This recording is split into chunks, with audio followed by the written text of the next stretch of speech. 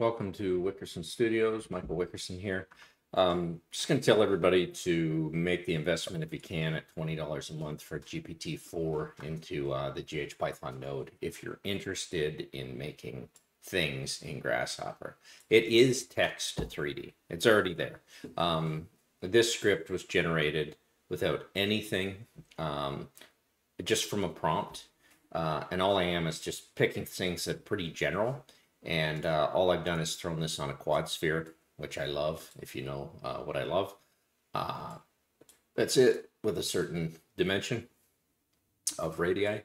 Uh, and I can bring in a surface and a divisions and you're done. Uh, how did I do it from text? Let me just grab ChatGPT 4. There it is. I've been producing things like crazy, uh, paneling tools, um, recursive uh, morph shapes, uh, Mobiuses, uh, lattice works, uh, parametric chairs, parametric floor lamps, Klein bottles, anything from text. This was the easiest one by far. So if I shoot this over here, uh, you can see, um, and I'll run through it and we'll keep it on rotation behind it. Basically, I typed in create a Python script for GHPython node in Grasshopper for Rhino 3D with a Rhino Common API and create an amazing parametric paneling pattern. Uh, blah, blah. It talks a little human there for a minute and boom, it wrote it. All you have to do, uh, gave me a little bit more of advice when I was done. Um, you don't have to really worry about anything else. Uh, let me grab that, slam that back up where I'm using it up top so I can see it. Uh, cut and paste that into your GHPython node, which is right here. So you don't need to be seeing that, but if you want to uh, take it off, um, your script is pretty simple. It's pulling out uh, the exact same script and it's producing the pattern of surface. It, it's told me that it kind of gave you the advice inputs for GHPython component. Make sure you have a surface named input um, and connected to a surface parameter in the GHPython node. So you just come down here and you just click surface and uh, and then uh, Division said said it wanted an integer, so I just went down there and set the name integers and put in that. It's that easy uh, from text, and so now you have this shape that everybody's always asked about. How do I do chain links? How do I do blah blah blah blah blah blah blah? Well, um, this was fun. Um, let me take that off spinning.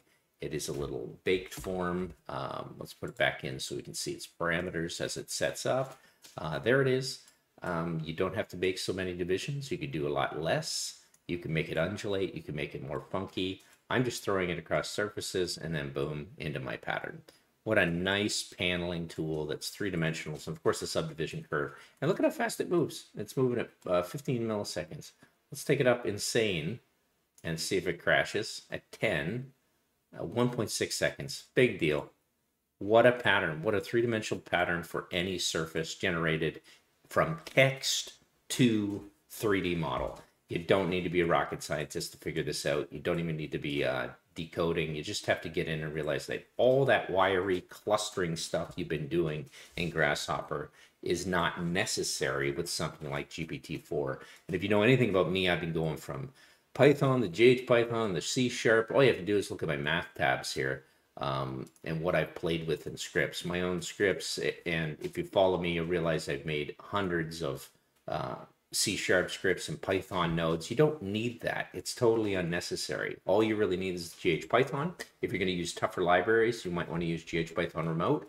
And the biggest thing that you've got there for you is the Hops node. If you want to jump over to Hops and start working in Visual Studio Code, you don't even have to use GPT-4. Well, you can. You just use it over there. And you're going to gain a whole bunch of new libraries while you do that. So I really don't know what to say, except this is absolutely insane. I'm going to take it to a bake. I'm going to group it. You can see the complexities of this form right there. How wonderful you know and i'm afraid to put it into ghosted or artistic because i think it'll take a minute and crash it always does when I try and move over to those with the subdivision tool. I can wait for it, but I think that's it. Thanks very much for watching. I'm going to stop